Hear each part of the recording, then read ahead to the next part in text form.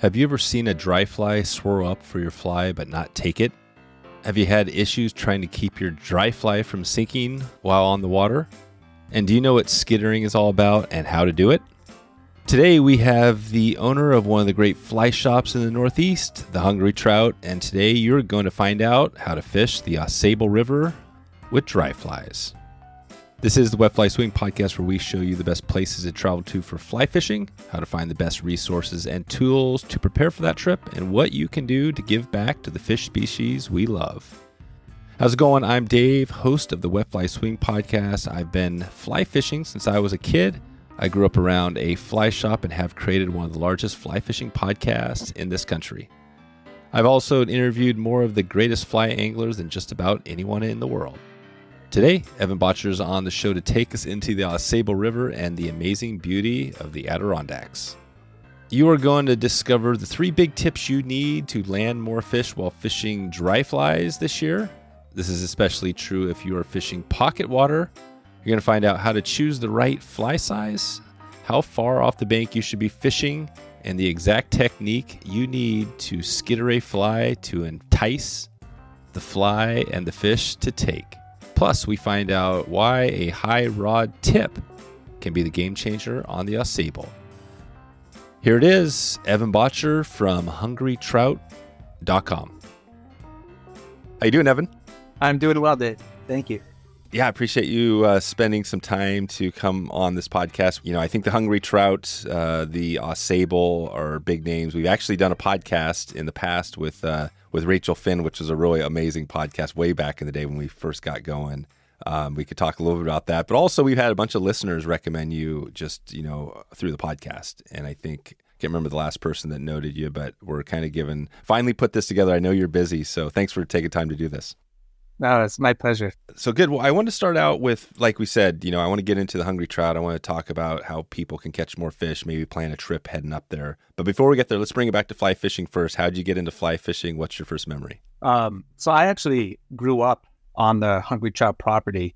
Uh, my family purchased the hungry trout in uh, 1981, and at the time, it wasn't like a fly fishing uh, themed resort, right? It was more like a motel with a small restaurant. Um, still on the AuSable River, so it inherently was a good place for anglers to go.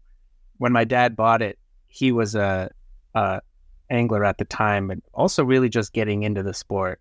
So he had the vision of really nailing down the hungry trout as a, a fly fishing destination in itself, and inherently getting involved with the fishery and and really pushing that whole experience.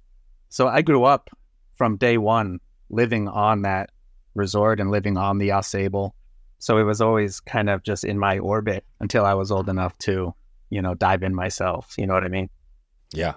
I, I have a similar experience. My dad, you know, I grew up around a fly shop and you know as far as i can remember back as a kid that's all i remember so i, I kind of feel but i never like the lodge like actually being on the river we didn't have that so what was that like actually as a kid growing up on the river you must have probably you take it for granted for a little bit then you realize what you have oh 100% and that's when i was growing up the river like it was right in our backyard so most of our my experience with the river was we would like tie knots and ropes and go and hang in the boulders in the current and you know, play around in the river and in not fishing way. But I actually remember growing up, I'd be doing that and I'd always have these bugs all over my hands. and I was like kind of grossed out. like, what is this stuff? And I, you know, come to find out that they were just hundreds of stonefly shucks, which is what our river is like quite known for, for an East Coast fishery, is big bugs. Um, but yeah, that was like my earliest childhood memory that relates to fly fishing was probably the amount of insects I'd have on my hands when I would like be swimming in the river. Amazing. Yeah, it was cool. So but it cool. was yeah, it was uh and taking for granted. I moved away at 17 for college. I have family in Colorado, so I ended up there and it was like day 1 when I realized like wait a minute. There's something really unique about where I grew up and what what I the environment I grew up in. Um and it was repeated back to me by everybody that I met. They're like, "You grew up where? Doing what? Your family does what? Like that's amazing." And I was like, "Yeah, that is amazing. Actually, I couldn't wait to leave, but you're right. That was great." there you go. Yeah. That's pretty cool. So you realize, and then when did you? So when did you go back and stay for good back at the you know the Hungry Trout? Yeah, I uh you know, I fished a lot as a kid. I grew up on the resort and you know, the fly fishing scene was always a part of uh my family and my dad and uncles and everyone were big anglers. So I had always fished, but with everything else going on in, you know, high school sports, the whole routine, it's something I kind of did on the side and would do with my dad. Um, I didn't really dive in on my own until I was about 17 when I got to Colorado, mostly because when I got there, that was like the closest thing, that was like the closest culture I could relate to, you know. I got out there, the Animas River ran right through Durango, and it was like, okay, I'm uh I that that's familiar to me, right? Yeah. So that's kind of where I gravitated toward. So when I got out there, I was I really dove in there and I started exploring and there's so much water out there to explore that it it really just became the focus after a while. And what was great about it is since I really got into it away, when I would come home, my hometown was like a new frontier in a way. So I got back here and it was my home river was now a new river to explore, just being more mature and having uh, all of the tools and skills to dive in. Hmm. It really was when I moved back home after, uh, you know, I was I moved back at probably 27 or 28, and it was pretty clear, like, okay, this is this is really neat. So it was actually when I was a, ch- a kid, I would get dropped off the school bus because you know owning the motel and we have some restaurants and the fly shop and stuff. It, my parents were super busy all the time, and getting dropped off the school bus, I used to have to wait in the fly shop an hour or two until my mom would return back from whatever work or errands, you name it. So I actually would spend time in the fly shop with the current manager at the time, and they would always be talking me into like, "Hey, this is what you got to do. You got to do this. You got to do that. Oh, let me show you. Uh, let me teach you how to make a, a nail knot. Let me like you know." And all, and I couldn't have cared less. I was like eight, you know. Hmm. So I Yeah. was like, "Okay, whatever you say." When's my mom get home? But all of that, it did soak in, right? And it's like the term my mom uses. My mom's not an angler, but she says she fishes by osmosis. So she could tell you like what the hatch was. She could tell you little things like that, having never even done it, just because it was in her orbit so often. Hmm. Yeah, that's great. No, I, and I think that you know with your dad. So I, it's interesting because I keep going back to thinking about some of my history, where I, a lot of what I learned early on. I mean, things have changed a lot, you know, since I was a kid. You know, but a lot of it I learned from my dad. Is that the same with you? Or do, it sounds like maybe you learned from some other people. Yeah, Does I had a- you know I- background. Yeah, No question. I had a whole um there was a whole team at the Hungry Trout that really was doing this. I mean, Rachel Finn was a guide there from day one. The fly shop opened in 1991. Uh, her and her husband Jeff Kirschman were um, the first guides that worked out of the Hungry Trout. So when I was six, there was a fly shop and a guide scene, and they were always up at the bar. They were in the restaurants and flowing around property. But also, my dad was like really obsessed angler for a while and still is. Like his main focus now at 78 is bass fishing. He's got a boat and he's out there Hmm. hucking rubber all day.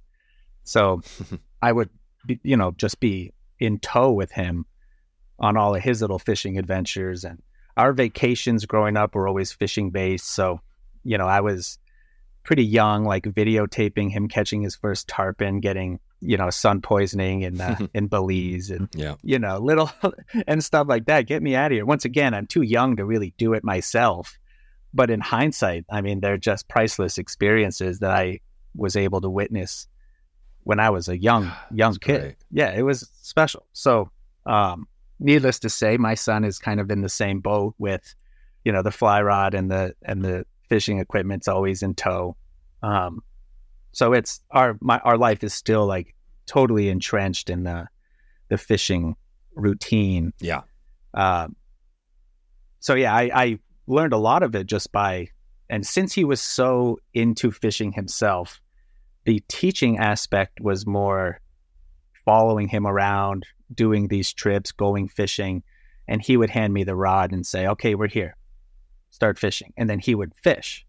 So a lot of mine was just like watching and learning by observation rather than, you know, taking classes or having guides or things like that was really just watching um, and learning and, and putting what I would see into practice, like how to mend. It's like, well, watching him, oh, that's how you mend. So now, you know, some of my fishing habits, good and bad, were like are kind of a mirror of his style and how he would approach a stream and, you know, generally overly aggressive and loud and not quite patient enough, but that's, you know, kind of by nature, you know, everyone, how Yeah. everyone fishes is kind of reflective of them, of their mind. You know what I mean?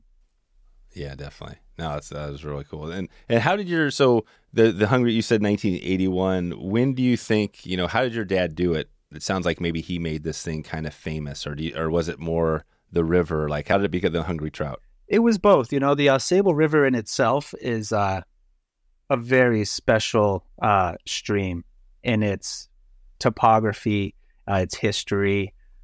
You know, it was one of the destination streams for a lot of the founding fathers of the East Coast fishing coming up from the Catskills and the city. And there's a lot of great literature about the stream from the early 1900s with Ray Bergman and um, all those players, right? Mm, yep. Uh, Fran Betters is also a local kind of folklore, local legend who's got a lot of famous fly patterns that were established on the river. Um, but my dad brought a um, a model to the corridor that hadn't existed yet, having traveled through Montana and and done the fishing lodge thing elsewhere. And there was another lodge in town that was kind of doing the fishing package routine. Uh, I forget the name of it. It's changed hands a few times now and no longer exists. But the first motel he managed here, he was an angler, and this guy told him, "Well, Jerry, you should do, you should do this. Like it, it works great for us. There's a lot of people here who come for fishing." And uh, once he bought the Hungry Trout, he really nailed that down, and it became the focus, which married with the, his passion for fishing. You know, so they bought it in '81 in 1990, they built uh, R.F. McDougall's Pub, which is uh, Hmm. named after the rat face McDougall. And that was a fishing themed bar. You know, once again, like 100 feet from some of the most spectacular uh, water that I've seen anywhere. It's really special. And I'll, I'll explain that shortly. But, uh, and then the following year or two years later, it was all in like that 1990, 92 timeframe the old there was used to be an old horse barn on property right at the entrance to the property and that was converted into the fly shop Mhm. so within a, a couple year period it became a much more well-rounded product for anglers to come with with the pub. We have a fine dining restaurant. We have the motel. We're right on the river. We have about a you know couple thousand feet of or i think it's a thousand feet or so of river frontage and the fly shop. So by 1992 or 93, it really was kind of a one stop shop for anglers coming into the Adirondacks to fish the Ausable, which everyone had heard about, but we were able to, you know, dive in and and kind of create our own little community using that, you know, and, and that's really what it's become. Even today, it's we're guiding anglers, and there's people that I've been uh, seeing every year in passing in the shop and on property that have been coming up here since I before I can remember since I was you know Oh wow, five you know that's so cool. yeah so 30 30 something years we've got guys and uh, that have been coming and and they and they still do so it's still in rotation now um, so he really just knew he had a he had a vision he had experienced that sort of lifestyle elsewhere and it was uh, the opportunity was here and he he really jumped on it That's great. And then you of course have the river, the the Ausable. What is it about? Maybe talk about that, the Ausable versus some other rivers in that that region. How is it? Yeah, different well- than- yeah, Well, East Coast is um, people don't associate the East Coast as a very mountainous region. You know, Yeah. You hear like Appalachian Trail and you know maybe the White Mountains, but they're they're not these grand ranges that are comparable to what you see in like Montana, etc. Uh, especially in New York, you know. So New York has some great fisheries, especially in the Catskills. Every river's got its own personality, you know, and they're all very unique and they all fish a certain way. And the Ausable is a very dramatic, uh, has a pretty dramatic personality in that sense. It's a very steep river. Yeah, it drops about 3,500 uh, vertical feet in 35 miles per se. Wow. So it's very steep. It is almost all, you know, out of 30 something miles, I think seven or eight of them are what I would consider flat water. The rest is all pocket water. So it's riddled with waterfalls and really big plunge pools and just classic pocket water, right? Like what you see when you're hmm uh, when you're out west. So it's bouldery, it's steep, it's and you don't get a lot of that on the East Coast. The East Coast has a lot of um, more pools and riffles and low lower gradient, which makes it great for dry fly fishing and the whole routine. But um, the Ausable offers like a, a very different experience in that sense, and it's also on either side of the banks. You're looking up like 3,500, 4,000 feet elevation gain from the river you're standing in. Oh wow! So you're looking up when you're in the river. You look up and you're there's like canyons. You're in a canyon sort of thing, or describe that a little bit. properly. Proper canyons, mountains. Like, you know, to get to the top of that mountain, there's a huge hiking circuit around here as well called the, Oh, the wow. Adirondack, Yep. called the 46ers. There's 46 peaks above 4,000 feet. So there's like hiking is really the Adirondacks like number one Oh right. uh, activity because, and they're hard hikes. I actually started doing them um, this fall just because I was like, I needed some goal, right? I needed something to check off. So, and the hikes are hard, man. They're rugged, brutal hikes Hmm. because the mountains, they're like, I mean, 4,000 feet elevation gain. That's what like a lot of 40 or a lot of 14ers in Colorado share that same elevation gain.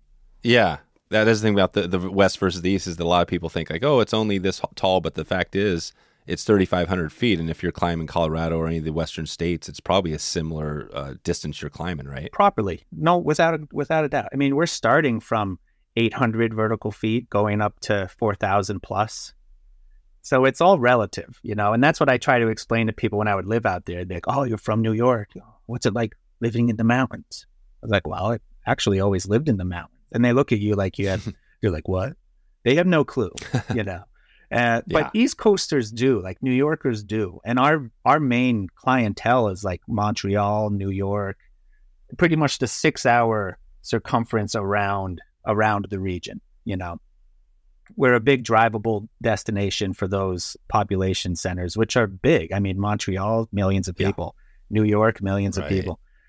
Boston, con- all of Connecticut, you name it. Like we're like a, a real destination for an easy weekend or week long trip that's accessible from a lot of a lot of people, right?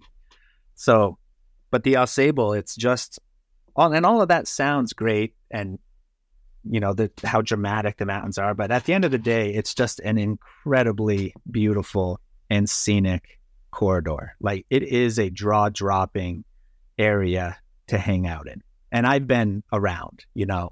I'm not an old buck yet, but I'm getting there and I've traveled to a lot of places and every year I sit around the river and like when the light hits right, you're like, holy, this place is really pretty. Like straight up, like there's just no way around it. It's a very scenic corridor. And as we know, like fishermen like that adventure, they like the that aesthetic of the sport. It's a very beautiful sport, and you couple that with a 30 foot waterfall and some changing leaves in October. Like, forget about it. You don't need much more than that. Imagine yourself surrounded by pristine waters, towering mountains, and the thrill of landing a trophy fish like the majestic Arctic grayling or the elusive bull trout. Take a look for yourself at nradventures.com slash wetflyswing and discover the Northern Rockies like never before. That's N as in Northern, R as in Rockies, adventures.com. You support this podcast by checking in at nradventures.com. Dreaming of battling a giant rainbow trout in Alaska's untouched rivers? Turn that dream into a reality with Fishhound Expeditions. Immerse yourself in the heart of Alaska, where epic landscapes and legendary fish await. Visit fishhoundexpeditions.com and mention this podcast to begin your adventure. Fishhound Expeditions, your gateway to the ultimate Alaskan fishing experience. No, you painted a great picture here. And then you mentioned earlier the stoneflies and some of the hatches. I want to hear about that a little bit on you know just the throughout the year like again we always go back to these things. We're planning a lot of trips around the country and this is one maybe hopefully we can get up to get some of our listeners out your way but what is um, you know best time right? Are there a bunch of best times or is there a good hatch throughout the year that people really focus on? Yeah. My favorite hatch is when the stone flies are out and that's generally like the second third of may through june and then we have a lot of different species of stones. So there's kind of always some sort of active stonefly routine all the way through the fall. So we fish an insane amount of big bugs, a lot of Western uh, fly assortments. You know, people think East Coast is very like, you know, classic flies and, you know, Adams and Quill Gordons and this stuff. It's like, yeah, that's, there's an element for that. But these days we find ourselves fishing more chubby Chernobyls and girdle bugs or Pat's, rubber legs, whatever y'all want to call it, right? Yeah. Um, but we fish uh, a lot of Fran Betters' old patterns, Ausable Wulffs, Ausable bombers, and they're like mm. size six and eight dry flies. If we're fishing a 14, that's small. So that stonefly routine just brings a really unique and fun element of of how you fish it, uh, especially for the East Coast. But starting uh, about the second week of May, if you follow us online, you'll you'll always hear me chiming off like, "Hey, second week of May, it's almost without fail that we'll our Hendrickson Hatch, as long as our weather patterns align, we don't get some major blowout. Then our Hendrickson Hatch generally starts the second week of May, and that goes for week, week and a half strong. Then it'll marry with the March Brown. We get a really strong sedge caddis that mixes in there that'll transition into stoneflies, yellow sallies, some sulfurs oh, yeah. through the early June. Um, it's kind of funny and sad at the same time because a lot of fisheries everywhere in the world, I don't care where what continent you're from, are struggling with some element of climate change, right? Yeah. And our river is no exception to that. So if we had had this podcast when I took the shop over in 2011, we'd be having a very different conversation about the hatch schedule. Uh, our hatches, just like everywhere else I've experienced and heard from and spoke with, we don't quite have as complex a hatch schedule as we once had. The catching is still good and the fishing is still good, but the clouds of green drakes, now you'll see like some, right? Mm. And why is that? What is going? I mean, I know the you know there's less rain, there's more rain. Why do you think that there's less bugs um, now? And are, and are you losing hatches altogether? Like in our river, is all I can really speak toward. Is um, we've had a handful of extreme weather events the last decade or two that have really kind of scoured out the river. Some pretty major flooding. Mm, gotcha. And then you have you don't have that like consistently cool kind of drawn out transition from winter to summer spring is kind of real spring is really temperamental now so you'll get you'll get heavy rain you'll get 80 degree. You're like oh the march brown hatch is about to start and it'll be sunny it'll be sunny and, and not even hot but it'll be sunny and warm for like a week. And the hatch doesn't start till eight o'clock at night because the sun's pounding on the river and it's just the environment that these bugs need to flourish is just very erratic you know Right. And it's everywhere. It's eh, you know we we fish Argentina every winter and host some trips down there with set fly fishing, and no, and they they tell us the same thing. It's still spectacular fishing, but uh, I think that's important to touch base on because fisheries and the business, it's not always going to be this. It's not all like, hey, this is a perfect scenario. Every everywhere has challenges, and and this is something that as an industry we deal with. So I I just wanted to chime in on that. Yeah, I think it's great, and, and, I think the point too. Again, it's I think again I, I never like to paint a doomsday picture of things because I think there's a lot of great groups out there doing great things. And I think we have we I think we can do some awesome stuff, but I think it all, it's also a reminder that you know what make sure you do this stuff if you want to do it before you know like before you're too old or you know the stuff goes away because you never know. I mean this you know things could get worse and then they could get better but I, exactly. I feel like the traveling right is the time is now. Exactly. And if you're not using the platform to share that knowledge then you're doing your river a disservice whether it sounds bad or not. You have to have that that conversation comes into play and in my opinion especially with hatches because that's a very tangible event and a very romantic event you really have to like be in the right place at the right time for now. Where it used to be like, you know, you just show up for the whole month of May and June and you'll get some bugs. And, you know, that's not always the case anymore. Yeah, gotcha. So May and June. Yeah, May and June. It's it's that's the prime time. That's the prime time. So what are the stonefly? You mentioned the yellow size. What are the, the species? Do you guys have? I know like out west you have the big giant stoneflies. I mean, what are the different uh, species? Are there's a few or just one or two? Yeah, and I have a very elementary uh, jargon when it comes to stoneflies. Yeah, yeah. Right. Just give like, me the common. Yeah. yeah, we get big black ones. We get small golden ones. We get big golden ones. You'll actually have like random times you'll get like salmon flies that land. Yeah. Ex- oh, you will. So you will see salmon flies too. Yeah, but just like just the um, like it's not like an event of salmon flies, but they'll have like clearly they'll have the red collar, you know, that kind of separates them. And how big are those? What's the biggest stonefly, like say nymph or dry, that you would be fishing size wise? Oh, like a size six. Yeah, size six. Yeah, large. Like I had a stonefly land on my finger last year. That was the length of my pinky. Yeah, that's it. Like yep. huge. You know, it's a big fly. You know, but we get them. Um, like if if you turn one over, um, majority of the ones that we find are more in that like kind of golden, uh, family. Yep. And uh, SUNY Plattsburgh, uh, State University of New York, Plattsburgh, did a really neat study a couple years ago where they cataloged the stoneflies and they found like over a hundred species. Oh, cool. They did, yeah, yeah. Well, I was thinking about how to take this conversation further. I think that that might be something. Maybe dig into that. People can learn a little more about the the bugs and hatches out there.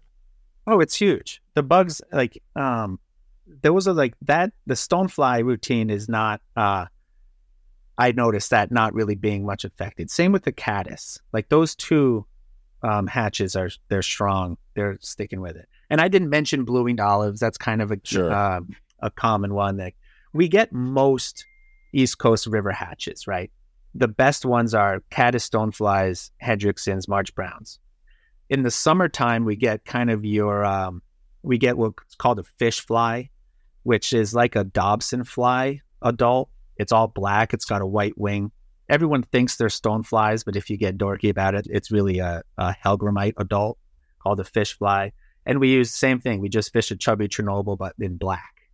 We get a lot of uh, flying ant hatches as we transition into the fall season. So the flying ant event and uh, a lot of terrestrials, beetles, you know, pick your variety of different worm or mop fly. And then as we transition into fall, blue winged olive, olives, caddis, um, and our big fall hatch, which is quite strong, is the isonychia. So we get a lot of isos or, you know, your mahogany dun, whatever you, you want to call it, but it's essentially just a slate drake. Uh, can be more mahogany body or kind of a gray body. But that's like our strongest, uh, starting like second week September, end of the first week of September. That'll take us through uh, mid October, mixed in with caddis and blue winged olives and you name it. And some of our other rivers in the region are still like really fine with the uh, bug life. They just have a very different dynamic, little different watershed. So I was speaking more toward the Ausable as facing those hatch challenges. Oh, um, right. As opposed gotcha. to some of our other, you know, kind of neighboring streams there. And we do get tricos. Oh, tricos. I, I, I always forget tricos. I have to I have to asterisk that in there, but that's one that's of all the hatches that we used to really bank on and loved fish, our uh, you know, kind of latter summer trico hatch has suffered quite a bit. And that one's that's a sad one. But they appear time to time and when they do, you're just pumped because as we know, a little trico flurry is always a good time. Well, my guess is I know there's people probably come around from all around the country, the world, but you know, I guess there's a lot of people, like you said, that drive in from all the cities around, and I'm sure they could you know, like whenever time of year, call you and say, hey, what's going on? And then within, you know, four or five, six hours, something like that, right? They could be there and be fishing. Oh, yeah. So that's and we do really well, actually. Like we do well when the um like if international travels down, we do or like you know it's a recession year. Yeah. we're a lot of people. Oh, I'm not going to Montana. I'm going to the Adirondacks. Yeah. Uh, oh, I can't go to Italy this summer, so I'm going to get uh, a guide. You know, twice a week for the month of July. We're like, no problem, Exactly. right? So we're Yeah, we're like have that covered. Totally. We actually do well at those kind of downturns because we're so accessible and it's such a more affordable option than going on a, a big destination trip. Well, and, Wow. and it is. De- well, I love that you say destination because Rachel Finn. I wanted to just give a shout out to Rachel because you know episode seventy two. You know, it was a long time ago. We've done we're over six hundred episodes now, so you know it, it's been a long time ago. But I love that episode because I think she cussed in that episode like a hundred times. It was so many, you know, Yo, but it was so awesome because because her style, right? She had the stogie. You know, we were talking about that, but she talked about the hang, and it's still to this day. We talked about it on another trip we did out to Yellowstone with one of our uh, group of people. It was amazing, and we were talking about the hang, and, and and she kept saying that it's all about the hang. You know, it's all about the hang. And I feel I asked her destination, like, what's your destination? You know, like, and she said, hey, man, like destination is wherever you know, whatever it is for you. Like it might be Yeah, that man. backyard, right? And Yeah. so I love that her take, and I think that I actually that that episode we actually got a little bit of hate mail, which was kind of funny because she was so uh, I don't know what the word about Rachel is, but it was just um, just out in front of you. You know, I mean, most of the Yeah. obviously most of the people loved it, but there, you know, so I think that talk about Rachel, like what makes her so unique. You know, it's funny you ask that because when she, you know, she had her um, movie that came out this summer after you're gone about the passing of um, her husband, Jeff. Who Oh was- wow, I didn't see that. Oh, dude, you got to chime into that ASAP. It is Okay. spectacular. Uh, It was done by the Flylords crew. Oh, nice. It won Best Film for I think at the um, IFTD. I think it won the Best Film for the the film tour, etc. But oh, it's a it's an amazing, you know, really uh, heartfelt video about how she's coping with the stuff that's happened to her. You know, she's a cancer survivor. Her husband, right after she got over that hurdle, her husband got cancer and passed within uh, six months. And I had grown up with Jeff, her husband, as being the, uh, you know, he's like one of those. He's like the dude when the apocalypse comes, you just run to his house. You know, you're like, okay, I got Jeff in my corner. I'll be fine. Yeah. He was a Wow. badass man. Like he's like just those classic guides. You just can't. They don't make them like that anymore. You know what I mean? Yep. So Rachel's like, she's been through some stuff the last decade, but it doesn't slow her down at all. She's Hmm. just a really tenacious, uh, very intelligent. I think a lot of like the way her personality and the way it comes through, uh, she's a very intelligent woman and emotionally intelligent and can understand the bigger picture of life, right? Hmm. Yeah. Uh, like that destination comment, like it's where you are, man. There's no Yeah. destination, man. Right. Yep. And that's like, she understands that about all sorts of trials and tribulations and death. And And it's totally true. That's what I love about totally it because she- true. She, came out and I basically asked her a question, which I've you know now think about, and she was right. It's like, hey, it's not about getting to Belize, even though that would be great to go to. You know, it's about just the experience, right, and the hang, right. That's what it was. no question. Well, dude, like, and I, I've known her since I was six. Hmm. So I, I don't have, and, you know, she lives half a mile up the road from me. So I have a very, uh, I don't want to say like different, but it's, it's not like I just met her and I have these like Right. reflections upon this character, you know? Yeah, you you know her. You know her better than I- about I- as well yeah. as anybody. Yeah. So it's hard to kind of describe her, but uh, I I just look at her. She's just very. She's a very intelligent woman, and her perception on things is not altered by what people think or what you should do. She does the right thing, like about water bottles, right? Like no no disposable water bottles. She says that, and eight years go by, she's never had a disposable water bottle again. She'll take you know, our jobs rely around taking people trout fishing. You know what I mean? Yep.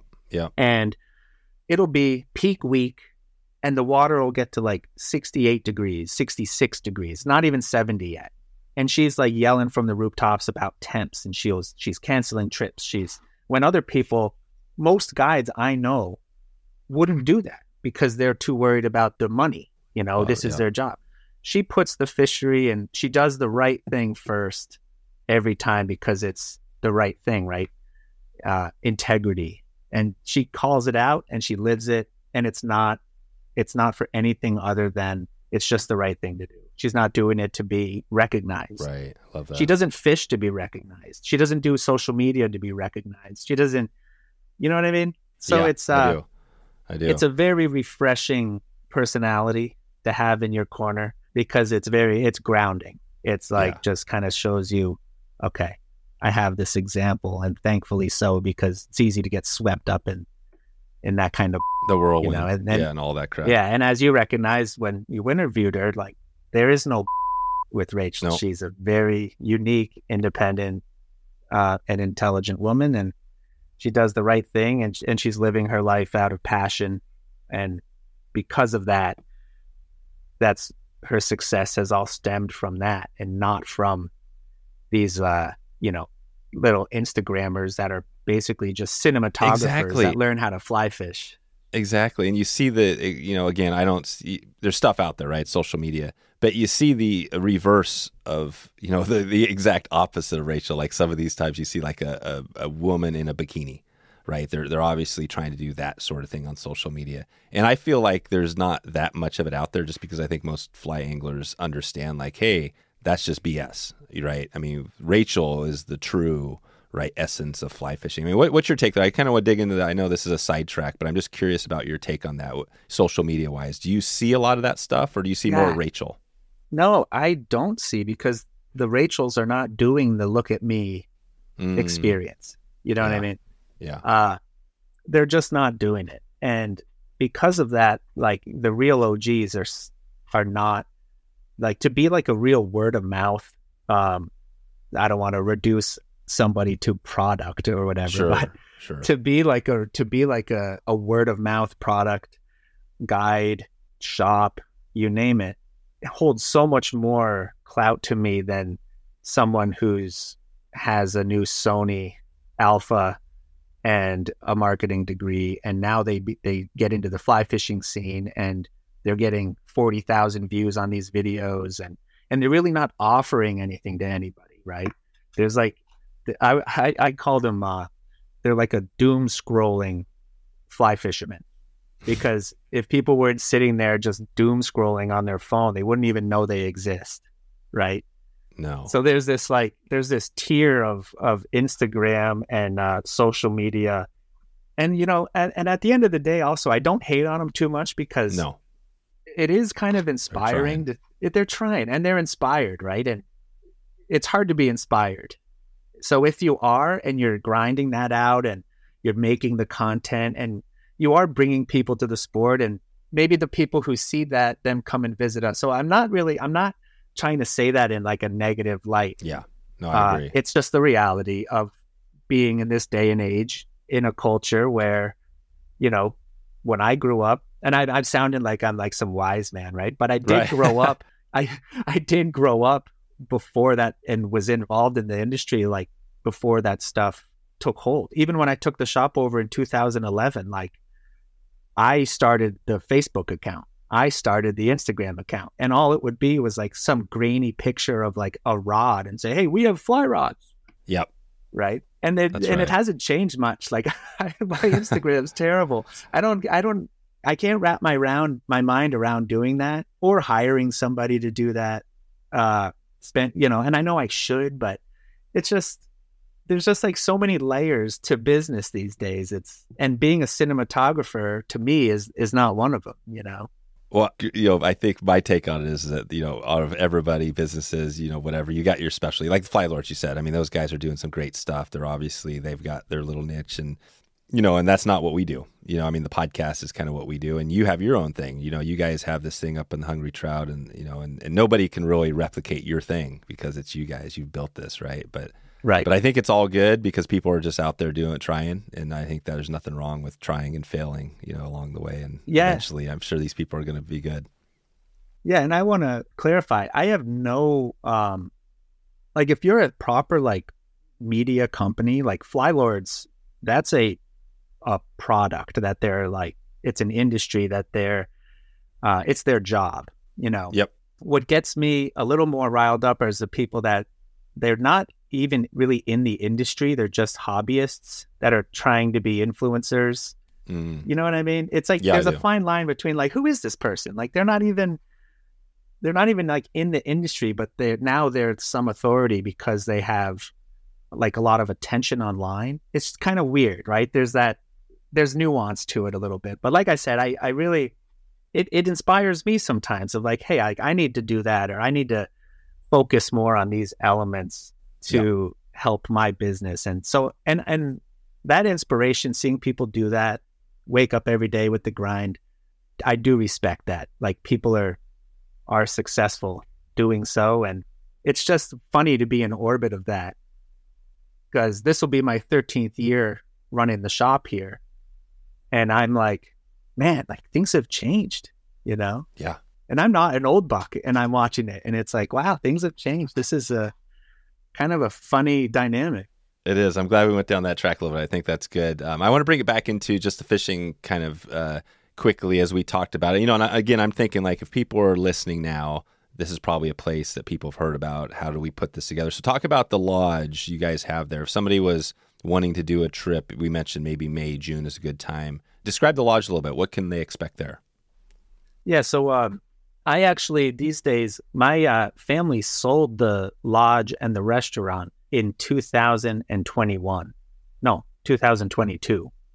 So I maintained operation of the fly shop, and everything is still here as is, and they're doing a great job.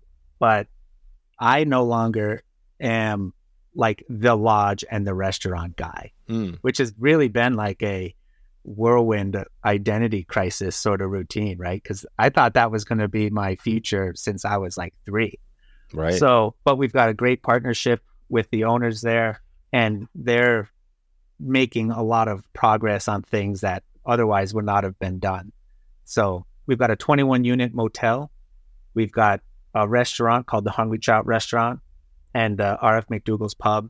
And our big thing always has been is bundling them all together for like a group rate that includes your lodging, your guiding, your motel. We're right on the west branch of the Ausable River. So we are like, bar none, the headquarters of the fly fishing routine in the corridor here. We're the only law, uh, riverside lodging establishment. So there's not many other places to stay with river access. There's actually zero. We're the only lodging facility on the river. So we do uh we have a couple stretches of private water as well that are very unique that add a ton of value to the visit that we have exclusive rights toward. Gotcha. Um, and like a lot of lodge routines, you know, we have um, we're right on the river. One thing that separates us apart from a lot of other destinations is we're right outside of Lake Placid and Saranac Lake region, which is like in its own, without the fly fishing, is a like ridiculously awesome destination. Hmm. So you can come up with people who are not into fishing at all, and they're equally as entertained.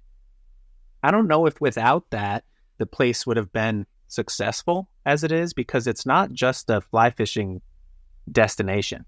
Peak, you know, in May when everything else is kind of shut down, sure, majority of our business is is fishermen, but we tailor to every uh, demographic of visitor that's here. And the Hungry Trout, it's a beautiful property situated right in a, a very quiet area on the river. We're right at the top of a chasm on the Ausable. So right behind property, there's like a 300 yard stretch of cascading waterfalls with 50 foot cliffs. And it's ridiculous. It's Nice. so cool. And the, the, the whole property like looks at all of that, all of that stuff the whole time. Yeah. You're just sitting there right on the banks, right off, and it's right on, like you said, right off the highway 86, right? That's pretty yeah, easy, yep. accessible. It's a it's a quiet road. It's a nine acre property. There's a lot of green space. There's a pool with a diving board. Like, it's a proper little resort. yeah, it's a resort. It's a resort, and the food is spectacular. It's an amazing place. It really is. It's hard to speak of it having not having it be in my family anymore. Um, oh, right. Yeah, yeah, because you had this thing. That is an interesting thing, right? You had this thing, and now it's not in the in the fly. So remind us again. So the fly shop is in the family, and the guiding business is that what Yeah. you still have? Yep, that's what we still have. We we kept the fishing operation, um, we still have. So how, how, does that, I'm interested in asking this because it sounds like it is a pretty visceral thing to you, you know, losing. And I say it for myself because we have a little cabin as well that's right now in the transition where my parents are getting older as well, and we're thinking like, well, is this something we want to make sure to keep in? Because I have three brothers, you know, to keep in the family, or yeah. is it not that big of a deal? And I feel like it would be an emotional thing to lose it because we've had it our whole lives. Like, is that kind of for you how it felt? Yeah. Oh man, absolutely. But it's also like, you know, it's a very romantic notion. You know what I mean? But then when you switch the the lens on it a little bit, growing up there, it's not something I would ever trade, but it's also like a pretty chaotic routine running small business like that in a remote area with two restaurants and and the whole thing.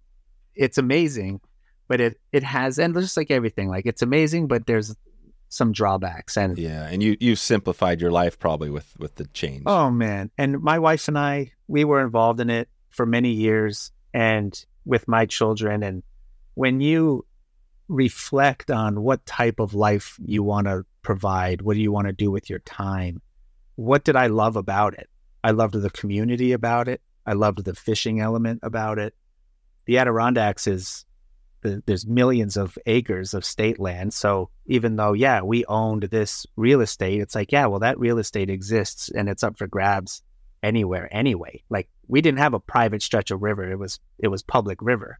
Yeah. So we really stepped back and said, hey, do we want to be running two restaurants and just owning one restaurant as a livelihood is like ridiculous, yeah, right? That'd be crazy. And there were two, and they were busy you know, 30 something staff, hmm, wow. then the motel. And yeah, it's a it's a proper operation, you know. Yeah. Um, the point is is we we could get we could pursue our passions and maintain what we had and what we loved about it while living a much simpler life and and mostly for me the contrast of which was I'm able to spend a lot more time with my children and that was very important to me that was that was really number 1 for me I remember the first like couple months of trying to transition. We tried to buy it and make it happen for a good two years.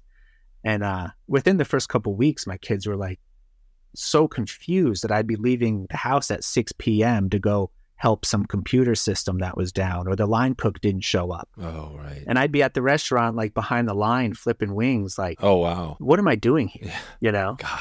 Like, what am I doing here? And my kids would be like, really upset that I was gone. And that just triggered so many memories when I was growing up. I'm like, you know what? This is amazing, but this just it's something's off. Let it go for the better of the family. I gotta let it go. I gotta let it go. And I also like my parents, they had grinded 40 years in that and it had we kept it in the family, you know who'd be stressed out about all that?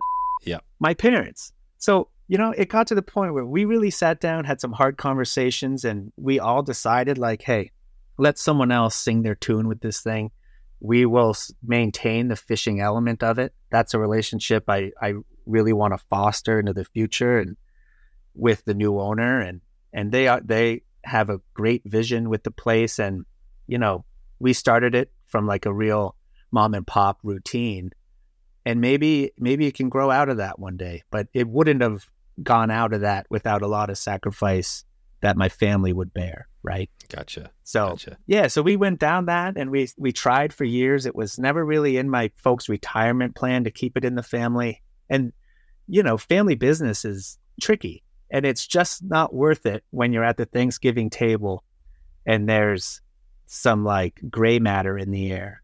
You know what I mean? Yeah, yeah. Just to keep it keep it all keep it clean and uh, turn the page and yeah. carve your own path. I'm still in the fishing scene there more invested than I was in it before because as that transition was happening, as we're selling it, I started getting involved in selling weddings and bigger stuff. And, and next thing I knew, I, I wasn't guiding anymore. I wasn't in that. The reason I loved the property, the property was at the same time kind of taking me away from that. It's time to talk about something that elevates your fishing experience. Stonefly Nets. Nestled in the heart of the Ozarks, Ethan, a master craftsman, dedicates his skill to creating the finest wood landing nets. They aren't just tools, they are works of art blending tradition and craftsmanship. You know, every time I set my stonefly net in the water, it's not just the fish that catches my eye, it's the beauty of the net itself. These nets are tailored to your fishing style with options to customize the size, handle, and even the intricate wood burls. They are a perfect mix of functionality and aesthetic appeal. And let's talk about the memories. Just like Ethan, many of us cherish fly fishing as a way to connect with our past and creating lasting memories.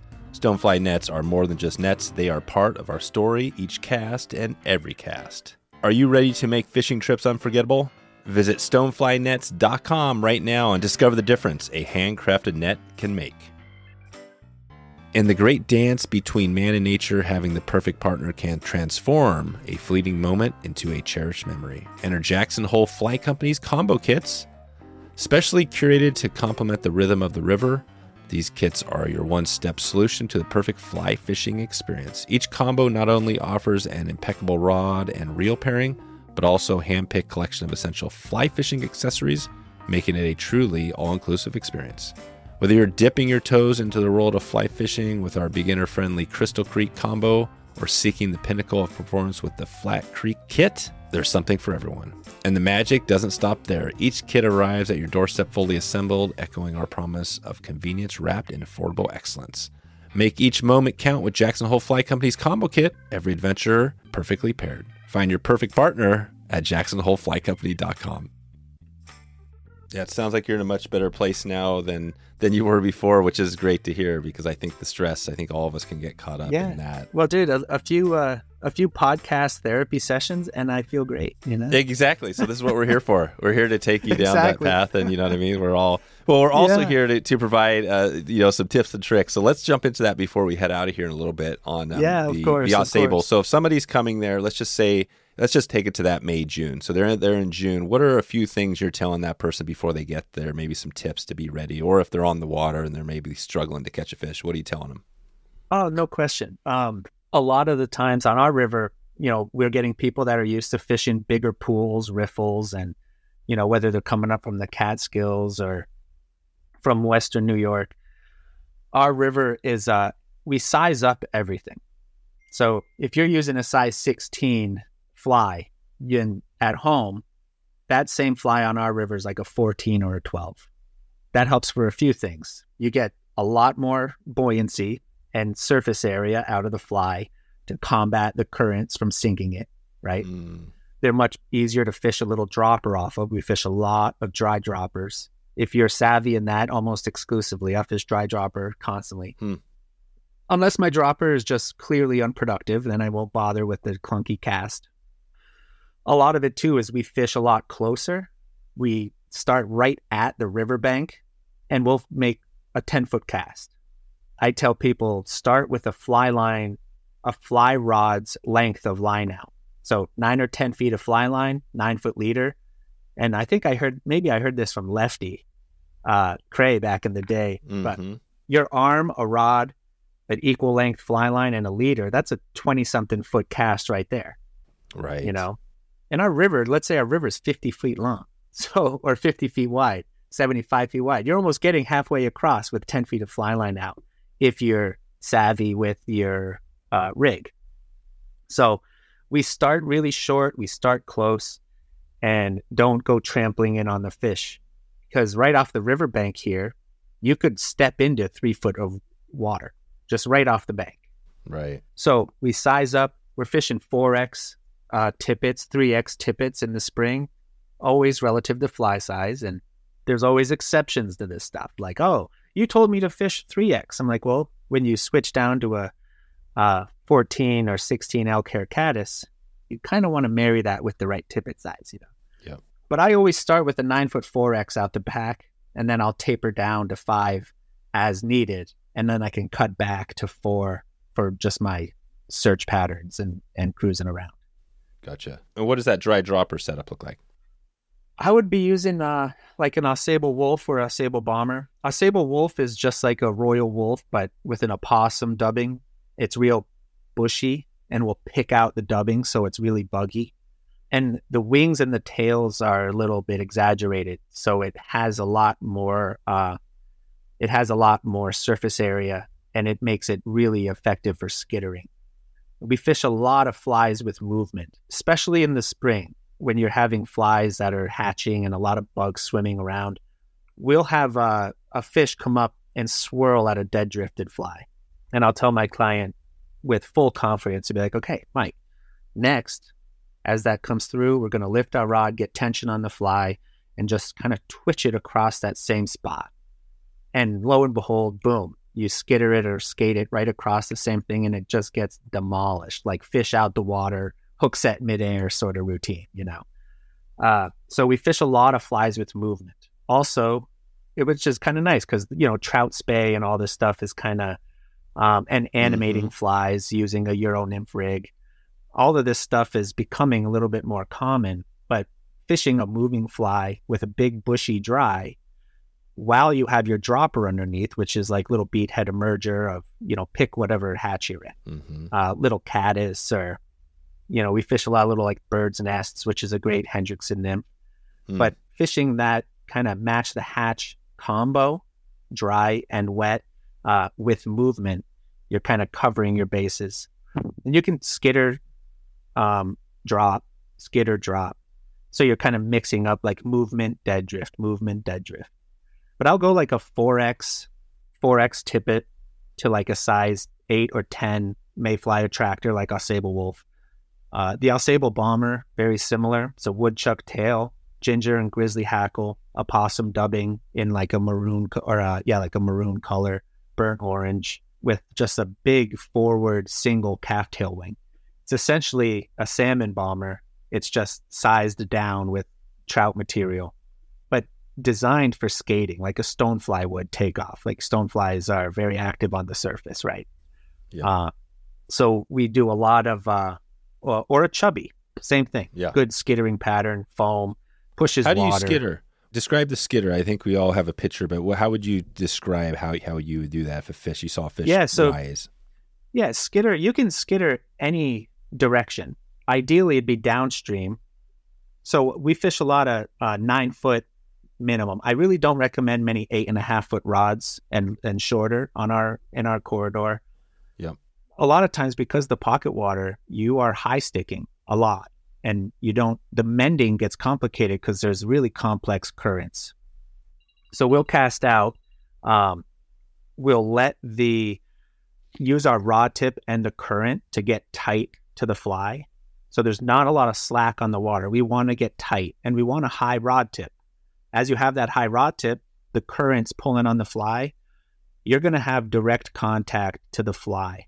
So where you move your tip or your rod, the fly responds and gets a little bit of movement in there. So you kind of let with as you're that tight to the fly and the current starts pulling the fly, you're kind of swinging it while you're tight to it and it'll bounce on the surface, kind of skate along the top with some animation and look like an look like an active bug trying to take off. Yep. And we use a ton of desiccant, frog fanny, loon dust, you name it, uh, to maintain that buoyancy, keep the fibers spread. So we, yeah, skittering and movement, staying tight, high rod tip. Sometimes your arms all the way in the air, and you're just wiggling that rod tip to animate that fly as it's in the river, without it sinking. You know, sometimes people try doing that and they keep dragging their fly out of the river. And a lot of times it's because they're not quite high enough. They don't have, they're not tight enough to the fly. So the leader is in the river, which is kind of pulling the fly under. So we want to keep everything high and, and move that fly across the surface and, and use the tension to dance the fly across. Um, and it's like pocket water is very different than because you can make fish do and respond and and get them to commit in ways that you really can't do in other types of river structure. You know what I'm saying? Yeah. Like those fish are very opportunistic in in pocket water. Yeah, because they have a short window to make a decision to take the fly, otherwise it's gone. No question. They have a very busy environment. They've got fast water both sides, disturbed surface of, ri- of the river, and yeah, so they're really opportunistic. So we can get by, and that's just one way where they can key into a bug. They might not see it, or it might not trigger their instinct if it's just floating, dead drifted. But if you give it some movement, now they see it, and they're like, "Oh, there's one," you know. Yep. Yep. Uh, so a lot of things come into play, but little pocket water tricks in that realm, like the skitter and the skating and and using a bigger fly, kind of crack the code a little bit. Yeah, I love it. So the skittering is kind of essentially you're just yeah you're imitating trying to imitate that dry whether it's a stonefly maybe dipping its you know eggs or something or a caddis or anything right but you're imitating a fly that's flying away sort of thing. One hundred percent. Or they land in the river to dip their eggs and they get stuck, and they're like, "I need to get out of here." You know? Right, right, right. When you do that, do you pick a place typically where you say if somebody comes up they never fished it before, like, oh, that looks like a good pool, or do you wait there and wait for rising fish for like heads before you do that? No, man, we just we fish blind like that a lot, and like I'll hit the river with no risers, you know, a really nice kind of rough but pooly. Like you'll you'll be going along and be like, these are nice pools, and then you'll see like a little pool on one side of the river that you could fit a Volkswagen bug into, Mm, you know, Yep. and you're like, okay, we're gonna spend some time there. That's the pool, and you'll fish your way to it because you'll find fish in like little two foot troughs all over the place. But you see something like that, uh, and we're blind casting big dries. We're really not waiting for heads. I know a lot of people they're like wait for the rise. I'm like, well, were you just throwing dries? They're like, no, we we didn't see any heads rise. I was like, well, you don't have to on on this river, right? You don't have to. You can blind cast bigger dries. Like a size 10 parachute Adams is like one of my favorite bugs. Just super classic, floats really well, mimics everything. You can skate it because of the parachute. So I'll blind cast like a parachute Adams and have quite good fishing. And I'll spend a whole day. I won't see one fish eat off the surface, but I'll catch 10 fish on the dry. Nice. So that's just another pocket water, you know, benefit. Yeah.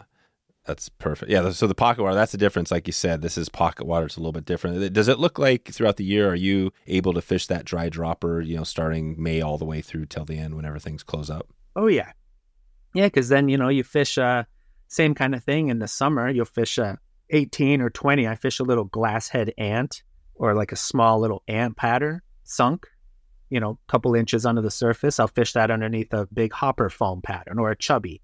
You can fish chubbies all all season from May all the way into October, right? So we fish a lot of chubbies and purples, blacks, pink. Mm. We use a lot of Fat Alberts, pretty classic pattern. We use those in pink. And people laugh at the funny colors, but the difference between pink and yellow is the difference of catching fish or not, right? So we do switch off a lot on like and fish some pretty bright colors just for that. But yeah, dry dropper all season long. And we have so many little brook trout creeks too. Like our summer trout fishing, a lot of times, especially in recent years, is we go fish little brook trout tribs and they're all over a little, you know, size 14 purple chubby. Forget it. Yep. So that's the one. If you had to pick one throughout the year, the, the chubby, or, or like you said, or the classic, the Ausable uh, bombers are, are the ones. Yeah, the bomber, the Wulff, the chubby, and you know our our number one seller fly in the shop is a girdle bug, like a tan and black girdle bug. Oh, it is a girl, like just straight up like yarn and uh, rubber legs, or not yarn, but uh, chenille. Is it chenille? Is the body chenille? It's chenille, yeah, it's Yeah. chenille, and you want you want like a like a brown and black, um, to get that you know mottled color. It could be Oh, a golden, and then yeah, and you use like a sexy floss, like a really burly, uh, but light. Uh, you don't want to use like a standard rubber because they kind of rot. They don't have the same action. That's right. or like a sexy floss leg. Um, and with the Euro nymphing scene, which we haven't talked about, no. pocket water is like designed for Euro nymphing. We Euro Oh, nymph right. a lot. Let's go down that. This is this is great because we've been doing our own Euro schools recently with Pete Erickson. Nice. You know, he won the gold in you know out there in Canada this year, so he's been our guy. But we've been fishing more of the West. You know, we've been out in Idaho. But so this is cool. So it sounds like so some of the similar things. Of course, you got George Daniel and other guys out you know closer to you. But is that something that's an equal you know dries versus Euro? Is that a 50-50 split Oh. throughout the year? Man, I focus on the dry thing because it's like kind of classic East Coast routine, and people like love dry fly fishing. And some people, "Oh, I don't nymph. You know, tell my guide I just want to fish dries. It's like okay. I'll do that. But you'll also tell your guide that you want to catch a lot of fish, right? That's right. it's- it, it goes both ways. So we actually started the Euro nymphing uh, thing in our neck of the woods by hiring uh, Lauren Williams, who's Oh, okay. a uh, yeah, he's on the Masters U.S. fly Yep. fishing team. That's right. Uh, he started off as their fly tire. Um, we've actually hired him for a variety of different clinics over the years, like fly fishing flat water and loch style clinics, to uh, fly fish flat water, and so he came up and did a couple Euro nymphing clinics for us, and uh, this was in like 2013, back when Euro nymphing was like super niche. You could hardly find a Mhm. rod to buy. You know what I mean? Right. Um, so he he brought that knowledge to our uh, corridor here. So our model of Euro nymphing was kind of started with with Lauren Williams. Also, one of those just OG guys who's not in it for any other reason than he has like a a super methodical mind. You know what I mean? He has not. It's not about you know let me do this for Instagram or or or even let me do this for anybody else. It was just he had a really awesome philosophy on and just the way he lived with his fishing routine. So he would come up and introduce the thing and we'd go out back for a clinic, a little demonstration, you know, we'd get 10, 12 guys out back and be like, "All right guys, Lauren's going to show us what this is all about."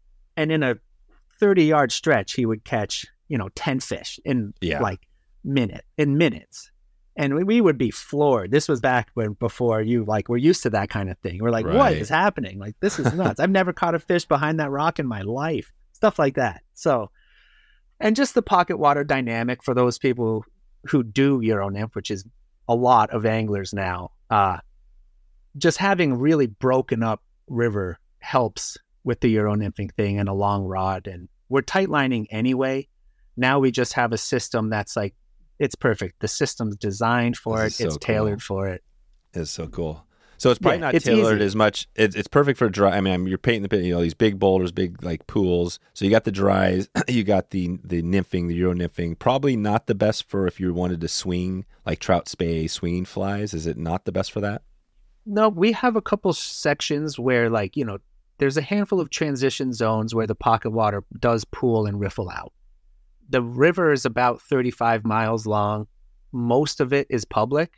So there's a lot of river. You know what I mean? So you can definitely find those those pools, but yeah, it's definitely not like it's not like run after run and you the next bend will be a nice run and riffle. The next bend is a run and riffle. It's not like that but there are some but you kind of have to be familiar with what one's fishing at what flow you know it's a little more nuanced of where you want to go to do that sort of thing and we have those spots like we're we're pointing people in those directions all the time uh, a lot of our guides swing we swing a lot for salmon and uh, a lot of people on the trout Spey routine as well so those spots do exist What Uh, are the salmon swinging for salmon? What is that? Uh, the Adirondacks have a lot of landlocked salmon. Well, back up. It has some landlocked salmon. The numbers are really low. It's challenging. It's not something we really guide or promote. Right. These are Atlantic salmon. Yeah, landlocked Atlantics. Yeah. It's not like, ooh, landlocked Atlantic. It's like, no, not really. It's like, uh, But you could hook. uh, Are people actually targeting them, where they can be like, "Hey, I'm going to go try to catch one of these"? yeah. And sometimes they might. It's one of those things. It's same thing. Like you think the trout numbers and cold water fisheries are challenged. Like there's nothing more challenged than a salmon fishery, you know? Well, and I always compare it to, and we've done a few Atlantic salmon episodes, but I always think of the, um, you know, steelhead, because steelhead can be, and, and even muskie, right? Some of these species are like, you're like one, you might get one hookup or maybe none. I mean, is, is this kind of Exactly. even lower, lower chance of than that? Exactly. Exactly. Some years there isn't even a run, you know? Right. So it's really challenging. But it gives us an excuse to swing without having to drive five hours, you know? So Yeah. And are they, are these fish migrating? Are they using like the lake as like their ocean sort of exactly. Yeah. Lake Pla- is that Lake Placid? No, Lake Placid's actually a, it's a really great lake trout lake. And there's no like big inlet or outlet of it. It's a really deep lake. We fish that, and uh, some of our guides really fish that for just huge lake trout, which is badass. Yeah. Right. And then, uh, Cool. yeah, so we have kind of the whole thing. And then the last few years, our ice fishing thing has just taken off. We've got a major ice fishing operation, which is funny because it's so polar opposite from fly. Uh, but I'm like, I'm like addicted to it, man. It's like Really? embarrassing. So where are you? And, and well, I think well, maybe we'll just touch on this, and we'll leave the rest of the story for our next one we do here. But tell Yeah, me, yeah, where, yeah. where is the ice fishing? What what what are you fishing? What Uh, waterway? I mean, there's thousands of lakes in the Adirondacks, like everywhere. And uh, the trout lakes are generally closed for ice because they're trying to protect the trout species, which are challenged. So we fish a lot for lake trout, pike, bass, that sort of thing.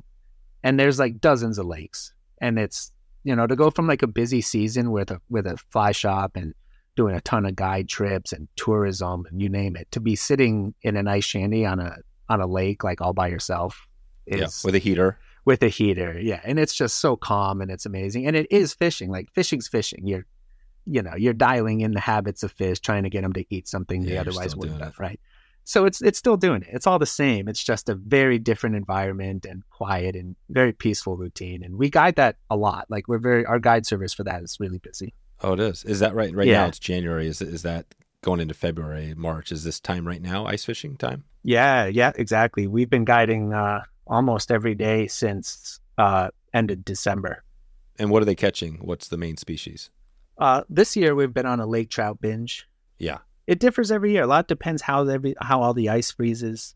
And I notice more and more fishermen as a whole, like just like, oh, uh, trout season's over. Now I'm gonna steelhead fish. Oh, steelhead fishing it's too cold. It's five degrees. Now what do I do? Ice fishing is becoming like way more popular. I'm seeing so many more people get into it because it fills in the blank.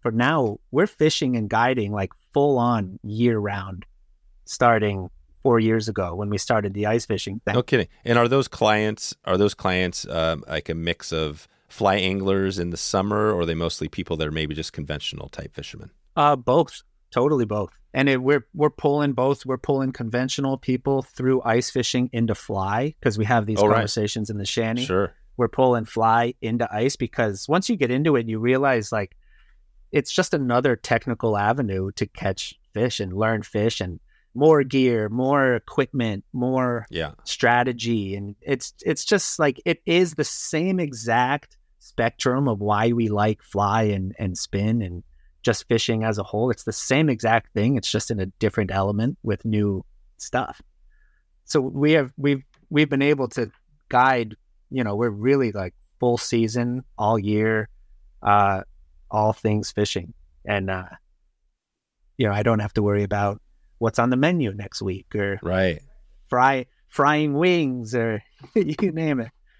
That's awesome. awesome. Nice. Well, this is good, Evan. I think that you know, I feel like we could sit here and definitely like uh, some of these we could chat for a long. I, I want to. Hopefully, we'll bring you back on and talk more about some of the stuff you have going. But um, yeah, I just want to leave there. Maybe give a any anything else you want to miss if somebody's planning a trip to the Ausable, you know, this year or next. Anything else you would tell them to get ready for that? Yeah, I'd get ready for a good hang. Yeah, there you That's go. really what it's that's what that's that is what it's about, you know. You mentioned it earlier what Rachel said and Yep. we always have that conversation and uh we didn't touch base on it much, but it's the hungry trout is built around having a hang. The fish we've had like we've had peak seasons where the fishing sucks, just like every fishery. And they're great trips, you know, because it's it's all about the hang. 100%. So that's um just get ready for a good hang and if that's your expectation then the fishing conditions and all that they can be pretty and it won't matter. It's all good. Perfect. All right. I love that we leave it there with the hang, and uh, we'll send everybody out to hungrytrout.com if they have questions. Yeah, hungrytrout.com, hungrytroutflyshop.com and uh we'll be here. All right. Awesome, Evan. Hey, I appreciate the time today. I, this has been one I've been wanting to do for a while. Again, like I said, but we, I think that there's still another one out there. So we'll hopefully get you on. But I appreciate your time uh, today, and we'll talk to you soon. No, Dave, my pleasure, man. Thank you so much.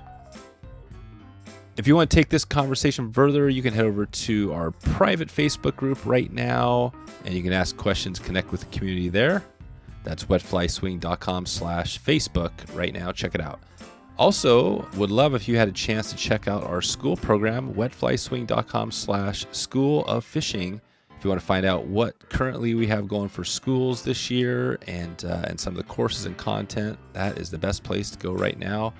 And we actually have one of those schools going, the wetflyswing.com slash Euro Clinic. Check that out if you're interested in nymphing.